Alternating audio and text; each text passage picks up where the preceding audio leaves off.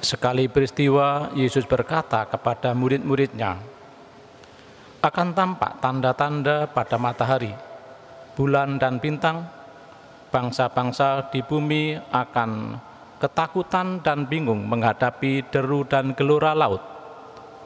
Orang akan mati ketakutan karena kecemasan berhubung dengan segala sesuatu yang menimpa di bumi. Sebab kuasa-kuasa langit akan guncang. Pada waktu itu orang akan melihat putra manusia datang dalam awan dengan segala kekuasaan dan kemuliaannya. Apabila semuanya itu mulai terjadi, bangkitlah dan angkatlah kepalamu, sebab pembebasmu sudah dekat. Oleh karena itu, jagalah dirimu, supaya hatimu jangan dibebani oleh pesta pora dan kemabukan, serta kekhawatiran hidup sehari-hari, supaya hari Tuhan jangan dengan tiba-tiba jatuh ke atas dirimu seperti suatu jerat, sebab hari itu akan menimpa semua penduduk bumi.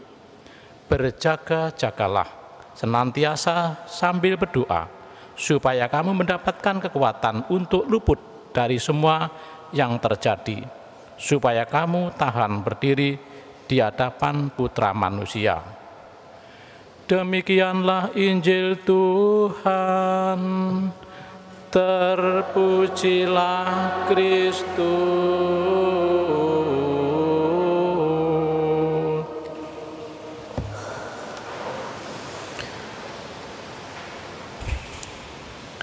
Para Romo, Bapak Ibu yang terkasih, depan kami ini ada Romo senior kami waktu saya masih prater dan imam muda waktu di Madiun Romo Ponti dan Romo Katini. Beliau berdua ini pernah tugas di Pacitan. Wilayahnya luas, yang sekarang ini dijalani tiga Romo, namun beliau-beliau ini hanya dijalani sendiri. Begitu semangat. Saya kagum di dalam kehidupan sebagai imam, itulah yang memberikan semangat mengapa saya tertarik menjadi imam maka hari ini masa Advent, Advent adalah kedatangan yang diartikan pertama kedatangan Tuhan Yesus yang pertama 2000 tahun yang lalu dan yang kedua adalah yang akan datang. Yang akan datang tadi digambarkan adanya bencana dan kekuasaan Allah.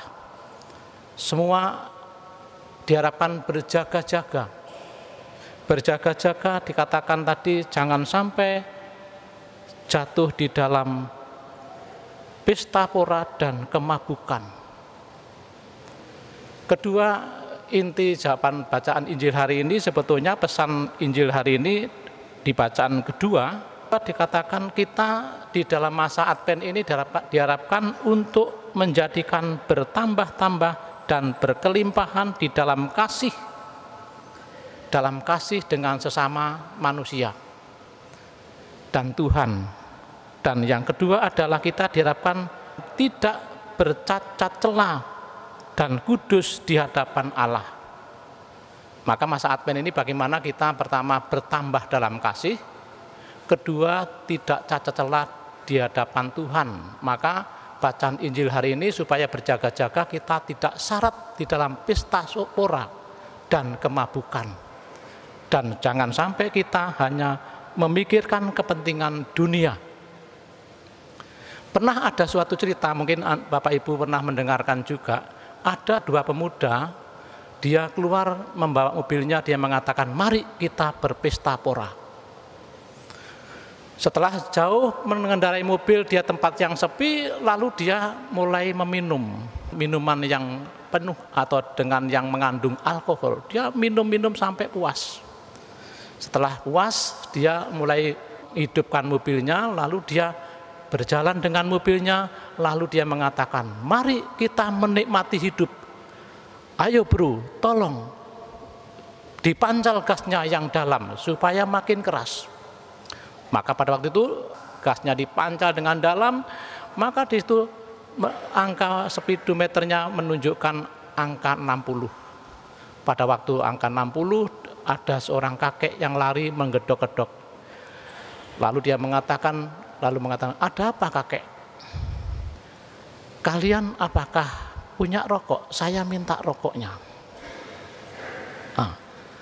Dia akhirnya merundingkan di antara mereka berdua, lalu dia memberikan rokok kepada kakek tua tadi. Setelah dia memberikan rokok, lalu dia berjalan terus menancap bekasnya lagi sampai menunjukkan sepidonya 90. Namun waktu sebelum menancapkan gas sampai 90, mereka berdua mengatakan, hebat ya kakek itu bisa lari dengan kecepatan 60 itu dulu pasti menjadi seorang atlet yang hebat. Namun waktu menancap sampai 90 tadi, kakek tadi datang lagi mengedok-dok. Nah, lalu dia mengatakan, ada apa kak, kakek? Dia mengatakan, kalian apakah punya korek api? Saya ingin menyalakan rokoknya. Akhirnya dikasih menyalakan rokok api, lalu dia atau dia menancap gasnya lagi, lalu dia mencapai sampai 100 km per jam. Dia mengatakan dengan ketawa-ketawa, saya yakin kakek tadi tidak akan bisa mengejar lagi karena kita sudah dengan begitu cepat. Ternyata tiba-tiba kakek itu muncul lagi menggedor ke kacanya. Lalu ada apa kayak dia dengan keheranan. Saudara, pemuda, apakah saya boleh menolong Anda karena mobil Anda ternyata terjerumus dengan lumpur? Mengangkat mobil ban Anda supaya Anda tidak atau bebas dari lumpur yang dalam ini. Bapak Ibu yang terkasih dan Pak Romo, cerita ini mengingatkan orang yang mabuk ternyata tidak bisa menguasai dirinya karena tidak bisa menguasai dirinya, maka dia tidak bisa berpikir yang benar. Dan berpikir mana yang benar, mana yang salah. Karena dia tidak bisa mengendalikan dirinya, dia tidak menguasai dirinya, dia ada juga tidak bisa mengenal lingkungannya. Maka karena dia tidak, mengenal bisa mengenal lingkungannya dan tidak bisa mengenal dirinya, bahkan dia berjalan saja tidak bisa nyampe-nyampe karena dia jalan satu kali, dia mundur dua kali, dua langkah. Dia maju satu langkah, dia mundur tiga langkah karena sempoyongan. Bagaimana dia bisa maju?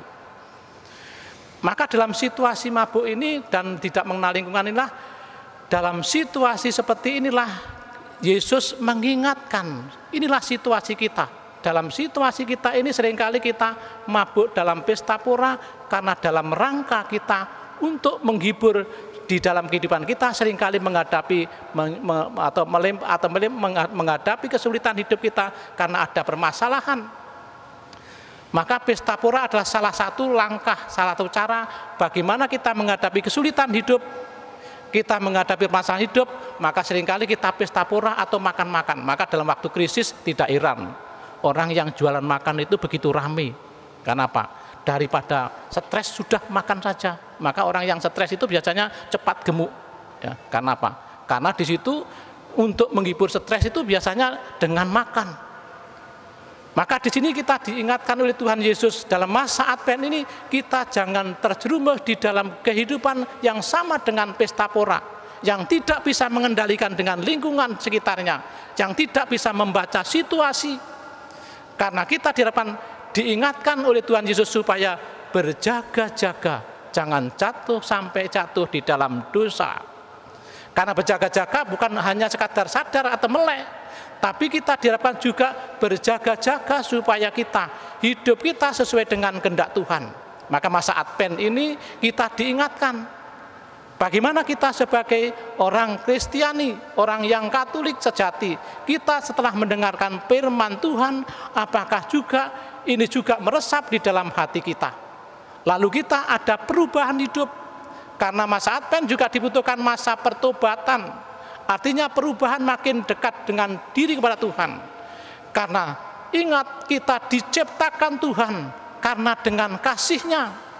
Kita bukan karena kebetulan diciptakan Tuhan supaya kita di cintai kita di karena kasihnya supaya kita juga bisa kembali kepada yang memberikan kasih yaitu Tuhan sendiri.